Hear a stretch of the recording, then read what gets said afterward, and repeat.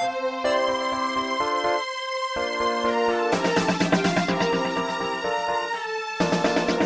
apologize in advance because this angle is weird, but welcome back to the channel. I am about to add some highlights to my hair, more at the back, um, but this time using no bleach.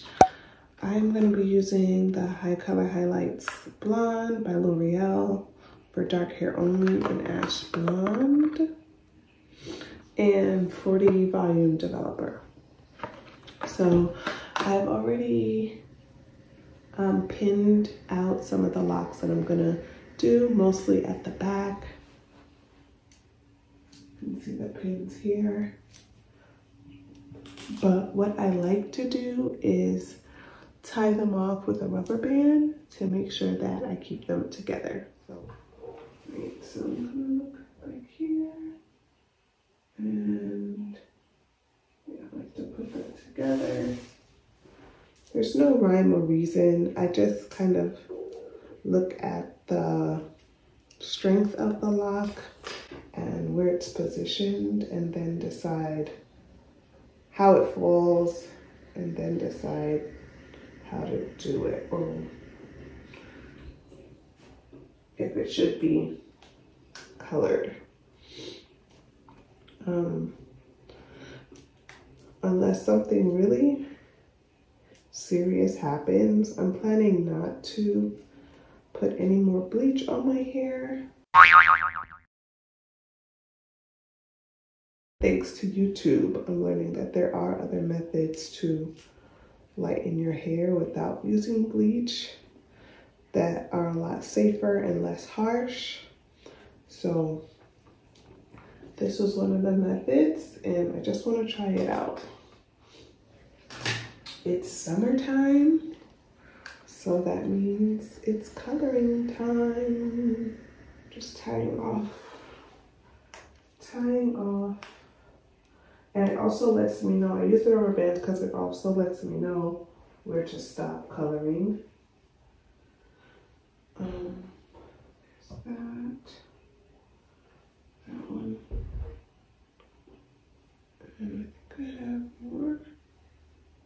Okay, just four at the back. So I'm doing six altogether. I have one in the middle tied off here, one in the middle back, and then one in the lower back. I have a shower cap to protect the process. So what I usually do is, is take it and then put a little hole. That one's a little big, but it's okay. And pass the locks that I'm going to color through it so that I can color and not worry about the rest of my hair.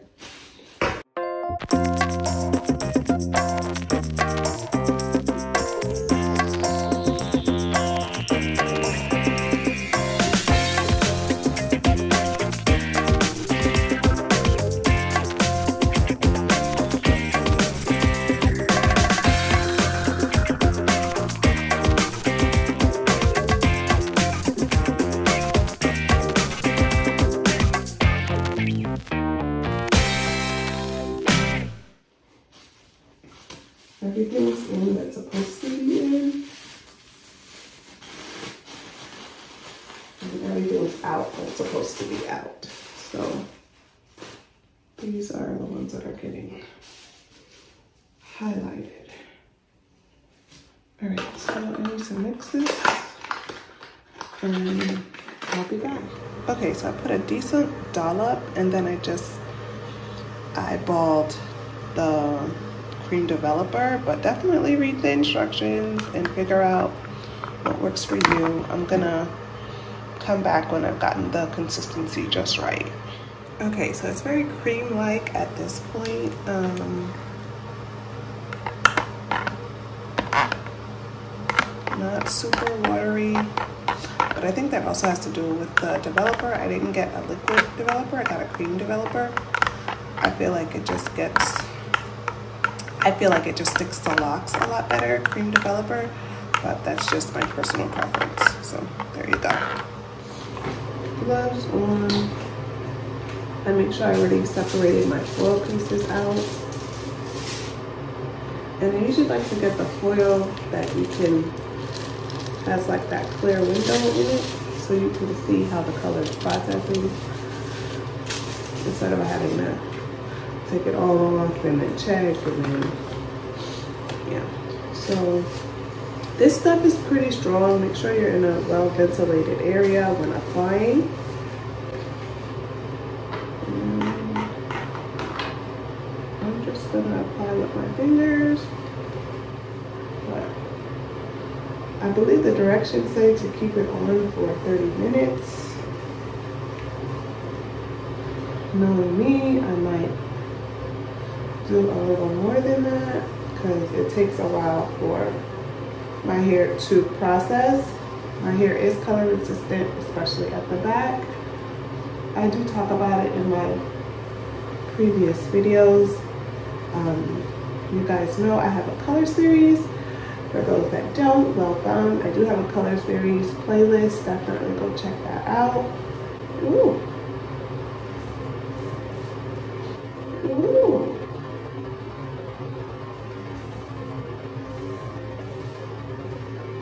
That's why you need your um your plastic. Change the angle a little bit, but one is down.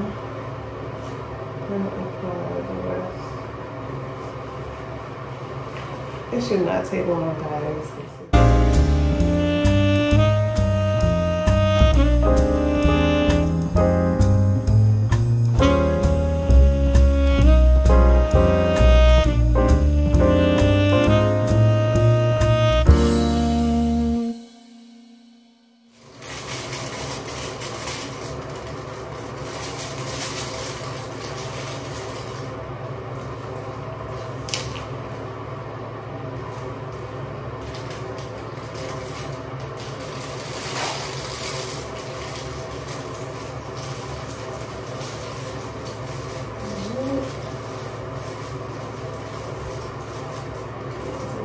Done.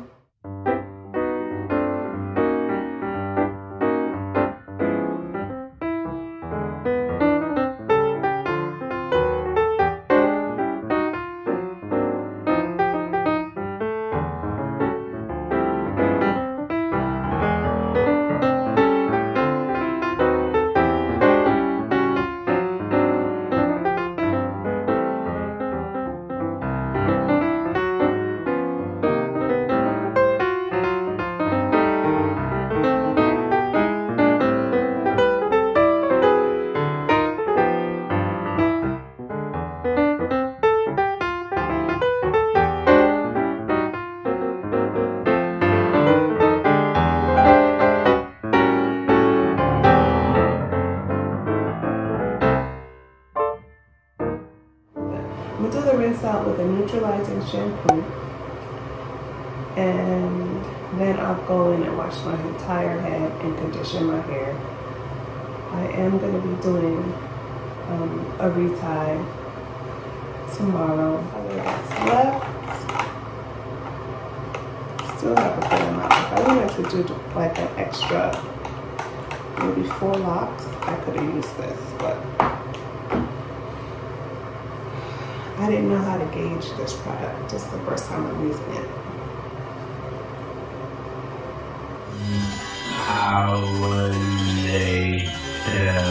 Okay guys, I'm already having some regret because I didn't do it before and after, but this is definitely what's up. Um, got my ash blonde and these roots were actually completely black and I hope I'm in the frame. But these are completely black. So it gave me a pretty golden brown color, which I'm not mad at. I definitely wanted it lighter, but um, it's okay. It's really okay.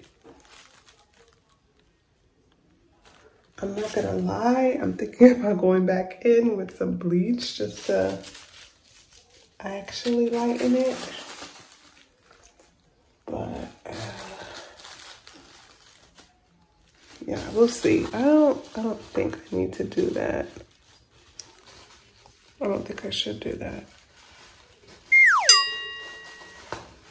Be just like 20, maybe like 15 minutes to get it a little bit more lighter. I'm tempted to go back in, but I mean, if you just want a lifting and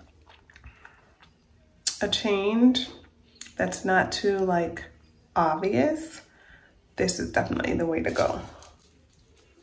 This is definitely the way to go. Okay, so the game changed for me when I actually finished washing my hair and let my hair down and saw the locks that I colored among my other locks. You could definitely see the difference. I kind of pointed some of them out to you guys so you could see the ones that were lightened, but I was also able to salvage a picture from the fall of when my hair didn't have as many highlights and was mostly brown.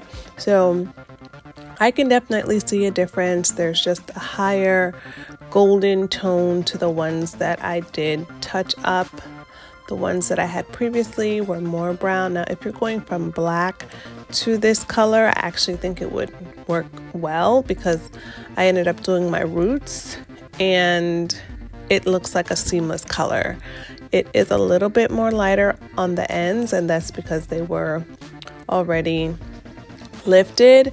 But for the most part, from the root of my hair to I would say mid shaft, it looks consistently the same golden brown color, and I'm satisfied with it. So, for those of you that are thinking about doing highlights, I definitely recommend this brand. I recommend this process.